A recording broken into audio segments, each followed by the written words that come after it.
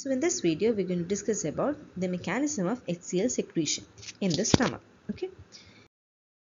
This has been asked previously in many universities like it has been asked as a long essay, a short essay as well as as a diagram question.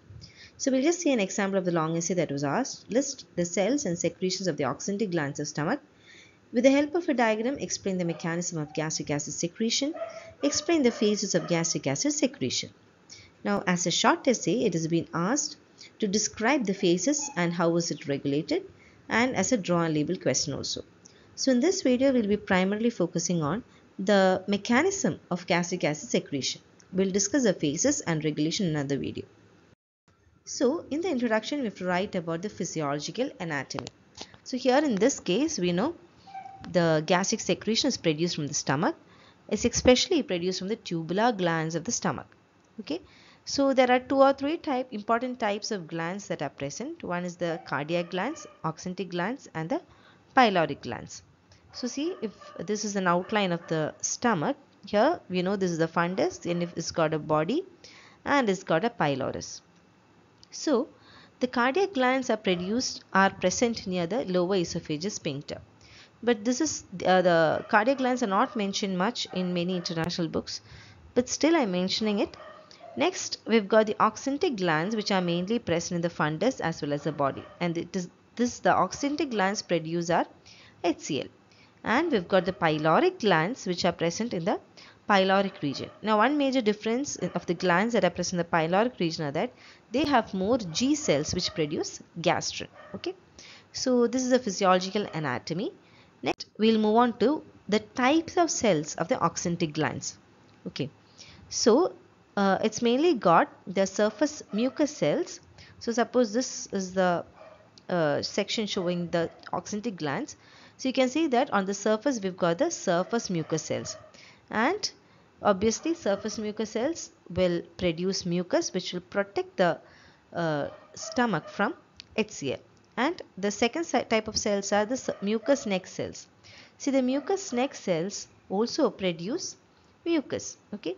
So now if you're wondering why there should be so much cells producing the mucus that is because it has to form the mucosal barrier which will protect the mucosa from that high acidity which is produced by the HCl okay. So surface mucous cells and mucous neck cells will produce mucus. Next we've got the parietal cells or the oxyntic cells. Now it is the parietal cells that secrete HCl as well as the intrinsic factor of Castle. So intrinsic factor of Castle is important because it is needed for the absorption of vitamin B12. Next we've got enterochromaffin like cells or the ECL cells that secrete histamine.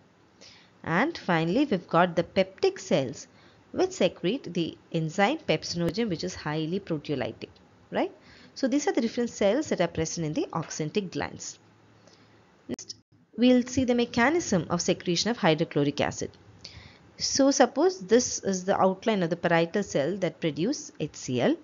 The first step is that carbon dioxide from the blood will enter the parietal cell. So see this is the parietal cell and here we've got the lumen. So this is the lumen into which the HCl will be produced.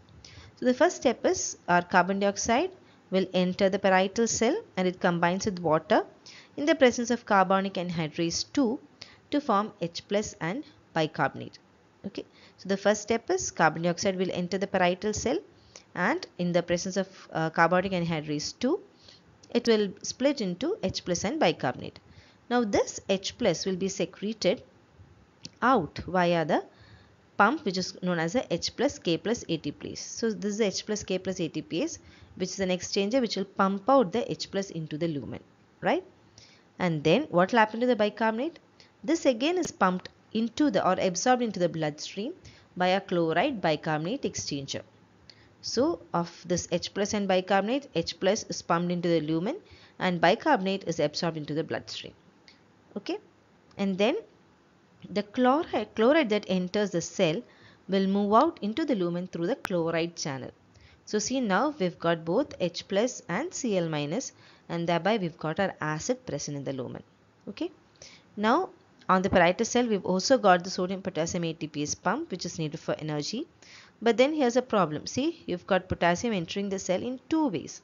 So it, we need the potassium to go out of the cell and thus we've got these potassium channels that are present here okay so this will maintain the uh, amount of potassium that is needed for this H plus K plus ATPase pump to work okay so that's how this uh, HCl is produced so see this is a resting parietal cell so you can see that there are a lot of canaliculi and all that so in this resting parietal cell all this H plus K plus ATPase this pump is in a resting state see but once it is time for the parietal cell to produce uh, HCl, what happens is this just changes its shape. See, you can see that all the canaliculi have been deepened and this H plus K plus ATPase, that pump will be present on its surface membrane, right?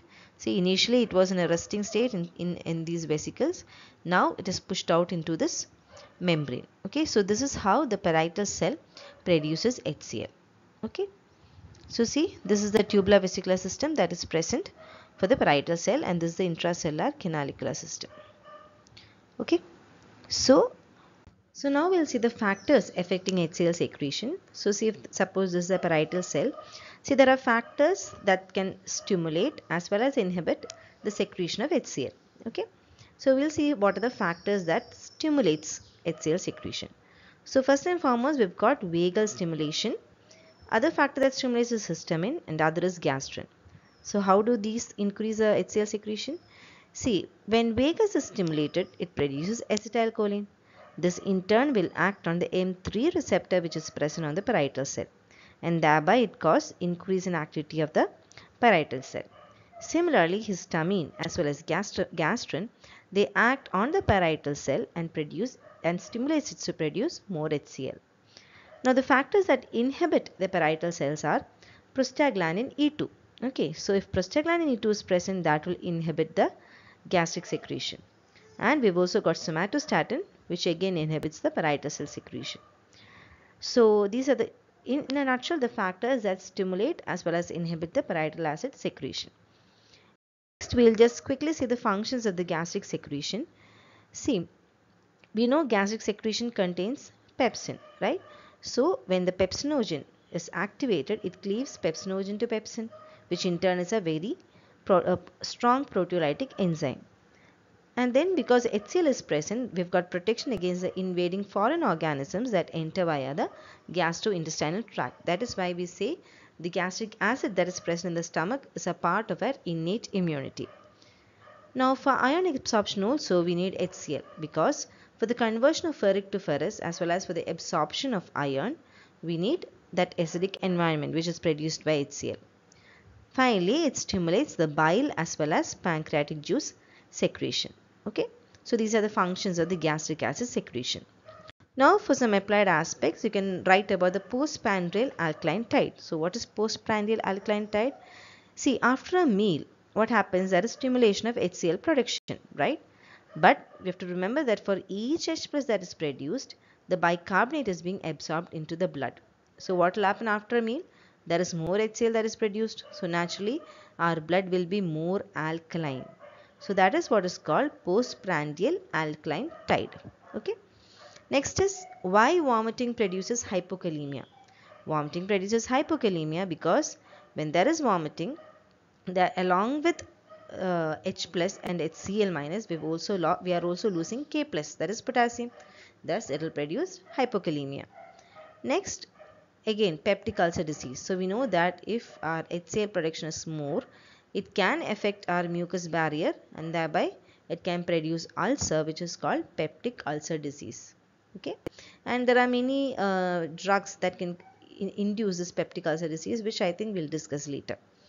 So, in a nutshell, if a question on the mechanism of HCl secretion is asked, we have to first start off with the physiological anatomy and draw the different cells that are present in the oxyntic glands. Then you can write about the mechanism as well as draw the, draw the diagrams of what happens in a parietal cell. You can write about the functions of the gaseous secretion as well as the factors affecting. And then you can write some applied aspects.